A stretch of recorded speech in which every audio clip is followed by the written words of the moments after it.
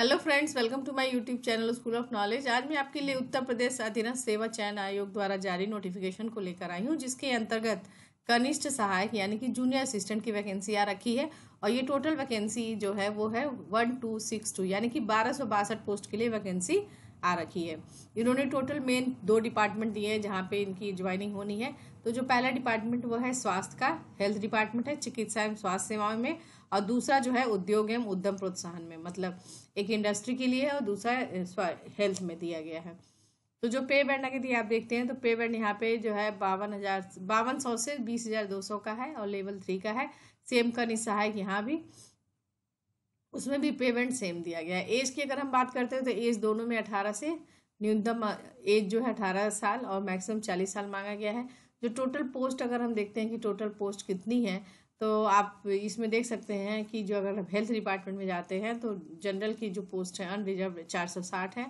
वही अनुसूचित जाति के लिए दो सौ बयालीस, अनुसूचित जनजाति के लिए तेईस ओबीसी के लिए तीन सौ नौ ई डब्ल्यू एस कैटेगरी के लिए एक सौ चौदह, यानी कि टोटल ग्यारह सौ अड़तालीस पोस्ट है। तो एक चीज़ ये कह रहा है कि ये पोस्ट क्या अस्थाई है टेम्प्ररी है, जो कि हेल्थ डिपार्टमेंट में है। वही जबकि यदि आप इंडस्ट्री में अप्लाई कर रहे हैं तो इंडस्ट्री के लिए जो है इसमें इस तरह की पोस्ट दे रखी है टोटल एक सौ, इस तरह से कुल टोटल 114 पोस्ट हैं, जो कि परमानेंट पोजिशन हैं। ठीक है? ये आप देख सकते हैं कि कितनी कितनी पोस्ट है। उसके बाद इन्होंने कुछ जो है नियम रखे हैं, जैसे कि कहा रखा है कि केवल उपयुक्त पदों के लिए केवल एक ही आवेदन करना है ठीक है? ऐसा नहीं कि आप हेल्थ में भी कर रहे हो इंडस्ट्री में भी कर रहे हैं, नहीं, एक ही फॉर्म भरना है और कह रहे हैं कि ये मेरिट के आधार पर ही सिलेक्शन होना है, ठीक है? तो इसलिए जो है पूरा अच्छे से पढ़ के ही आवेदन करें, ठीक है? और उसके साथ साथ ये हर्जेंटल रिजर्वेशन दे रखा है हर्जेंटल रिजर्वेशन के अंतर्गत आप देख सकते हैं कि स्वतंत्रता सेनानी के लिए भी सीट है और पीडब्ल्यूडी कैंडिडेट्स हैं, उनके लिए अलग से सीट है, महिला के लिए ये सैन्य खिलाड़ी वगैरह जो है, भूतपूर्व सैनिक हैं और खिलाड़ियों में तो भी हर्जेंटल क्रम में रिजर्वेशन दे रखा है। अब आइए इसकी मेन वेबसाइट पे चलते हैं। इसकी मेन जो देख लेते हैं कहाँ से नोटिफिकेशन आ रखी है तो आप ये देख सकते हैं कि नोटिफिकेशन आई है। उत्तर प्रदेश अधीनस्थ सेवा चयन आयोग लखनऊ द्वारा जारी की गई है। इस फॉर्म को भरने की जो मुख्य डेट जो ऑनलाइन डेट है, वो 21 नवंबर 2022 से शुरू हो चुकी है। और इसको आप कब तक फॉर्म भर सकते हैं? इस फॉर्म को आप 14 नवंबर 2022 तक 14 दिसंबर 2022 तक आप इस फॉर्म को फिल कर सकते हैं। यदि कोई करेक्शन करना है आपको तो एक हफ़्ते का टाइम और दिया जाएगा, लेकिन आपको उसमें कुछ इनको पैसा जमा करना पड़ेगा, फ़ी देना पड़ेगा, उसके बाद ही आप करेक्शन कर सकते हैं। आइए देख लेते हैं कि और इसमें क्या इंपॉर्टेंट चीज़ें हैं जो हमें जानना ज़रूरी है। तो इसमें जो है हाँ एक चीज़ और इम्पोर्टेंट चीज़ मैं पहले बता दूँ आपको, इसमें इसमें ये जो फॉर्म भरना है, ये केवल वही कैंडिडेट अप्लाई कर सकते हैं जिन्होंने पीईटी 2021 की परीक्षा को पास किया हो, ठीक है? जिन्होंने पीईटी 2021 की परीक्षा को पास किया है, वही अधिकारी, वही जो कैंडिडेट्स हैं इस फॉर्म को अप्लाई कर सकते हैं। ठीक है? क्योंकि उसी के आधार पर आगे जो है, फॉर्म भी भरा जाएगा। और फॉर्म भरने के लिए आपको इस वेबसाइट पर जाना है UP triple S C dot gov dot in पे जाना है। तो ये मेन इंपॉर्टेंट चीज़ थी। और इसके साथ ही जो भी आपका लॉगिन आप देख रहे हैं कि रजिस्ट्रेशन नंबर के साथ ही आप लॉगिन करके इस फॉर्म को भर सकते हैं। जो पीईटी e का रजिस्ट्रेशन नंबर है, उसके आधार पर ही आपको फॉर्म को भरा जा सकता है। ठीक है? अब आइए और कुछ इंपॉर्टेंट चीज़ें देख लेते हैं। इसमें जो इम्पोर्टेंट और है फ़ीस की अगर हम बात करते हैं परीक्षा शुल्क की तो परीक्षा शुल्क जो है टोटल ऑल आवेदन शुल्क तो कुछ नहीं है, लेकिन जो प्रक्रिया का शुल्क है वो है पच्चीस रुपये जो कि आपको पच्चीस रुपये पेमेंट करना होगा, ये सारा ऑनलाइन ही जमा होगा। ठीक है? ट्वेंटी फाइव रुपीज़ सारी कैटेगरी के लिए है। ये पदों का विवरण तो हम आपको बता ही दिए हैं। उसके बाद आइए देख लेते हैं कि क्या अहर्ताएँ हैं, क्या रिक्वायरमेंट है इसकी। तो इसमें इन्होंने कह रखा है कि उत्तर प्रदेश सरकारी विभाग लिपकी संवर्ग के अंतर्गत क्या होना चाहिए? यदि आप असिस्टेंट की पोस्ट पे जा रहे हैं तो आप कम से कम ट्वेल्थ पास होने चाहिए, ठीक है? किसी भी बोर्ड से यदि आपने ट्वेल्थ पास कर रखा है तो आप इस फॉर्म को अप्लाई कर सकते हैं।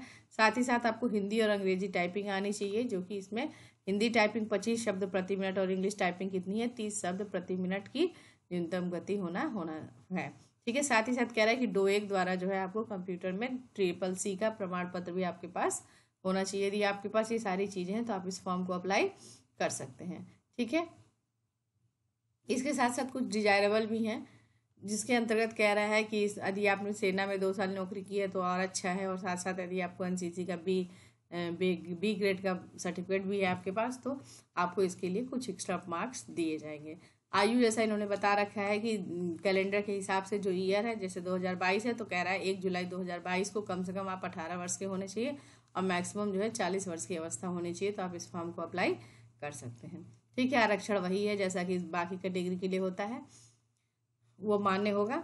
चयन का जो आधार होगा वो लिखित परीक्षा के आधार पे होगा। ये लिखित परीक्षा जो होगी ऑनलाइन होगी। ठीक है? तो ऑनलाइन के लिए इसमें जो है प्रथम चरण में क्या होगा? लिखित परीक्षा में देखिए क्या क्या पूछा जाएगा। हिंदी होगा, सामान्य बुद्धि परीक्षा और सामान्य जानकारी। टोटल 130 प्रश्न पूछे जाएँगे जो कि मैक्सिमम पैंसठ अंक होंगे। यानी कि आधा आधा मार्क्स के। एक क्वेश्चन है ठीक है? और जो समय दिया जाएगा, एक घंटा तीस मिनट का दिया जाएगा। और कह रहा है कि यदि आप कुछ गलत कर दें तो वन बाई फोर्थ जो है निगेटिव मार्किंग भी होगी तो इस चीज़ का ध्यान रख के करना है। पाठ्यक्रम दे दिया कि हिंदी में क्या पूछेंगे, सामान्य बुद्धि परीक्षण में क्या है, सामान्य जानकारी में क्या चीज़ें आएँगी, ये इन्होंने बता दिया है, ठीक है? उसके बाद जो द्वितीय चरण होता है, वो है टंकड़ परीक्षा, जो कि कंप्यूटर या लैपटॉप पर होगी, ठीक है? यानी कि टाइपिंग स्पीड आपकी देखी जाएगी, हिंदी या इंग्लिश की।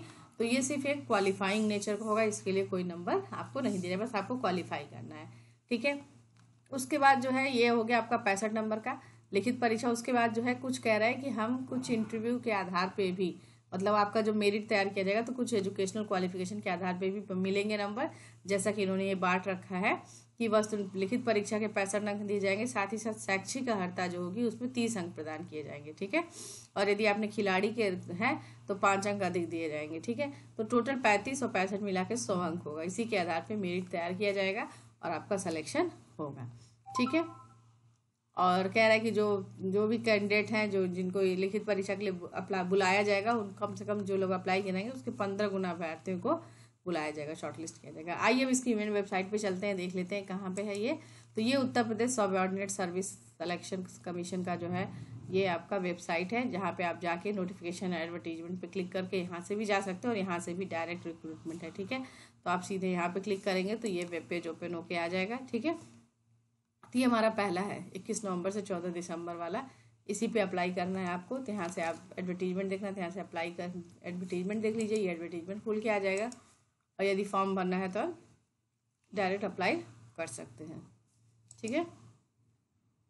तो जैसे आपने किया व्यू एडवर्टीजमेंट किया तो ये खुल के आएगा। यहाँ से आप अपना एडवर्टीजमेंट डाउनलोड कर सकते हैं। ठीक है? अप्लाई करना है तो आप यहाँ पे क्लिक करिए अप्लाई पर। जैसे आप अप्लाई पे क्लिक करेंगे जूनियर असिस्टेंट है nature of post view total vacancy ठीक है? आपको फॉर्म सबमिट करना है सबमिट अप्लीकेशन पे क्लिक करिए। ठीक है वैकेंसी डिटेल मांग रहा है। तो इसमें कह रहा है कि जो कैंडिडेट पेड 2021 की परीक्षा में उत्तीर्ण हुए और उनके पास वैलिड स्कोर है, वही अप्लाई कर सकते हैं, ठीक है? तो ये सारी चीज़ें हैं, इस तरह से करके आपको फॉर्म को फिल करना है। आपके पास है पेट एग्जामिनेशन एग्री करके फॉर्म को आप आगे फिल करेंगे, ठीक है? किस तरह से भरना चाहते हैं, आप पर्सनल डिटेल के आधार पे या ओ के आधार पर करना है तो आप उसका आधार पर जो है क्लिक ओटीपी के आधार पर करेंगे तो उस पर क्लिक करिए, अपना रजिस्ट्रेशन नंबर ओटीपी कोड डालिए, और अपना फॉर्म को आप आगे फिल करना है, ठीक है? तो फ्रेंड्स इस तरह से आपको फॉर्म को फिल करना है। फ्रेंड्स होप करते हैं आपको इन्फॉर्मेशन अच्छी लगी होगी। इसी तरह जॉब से रिलेटेड नोटिफिकेशन के लिए मेरे चैनल से बने रहिए। Thank you so much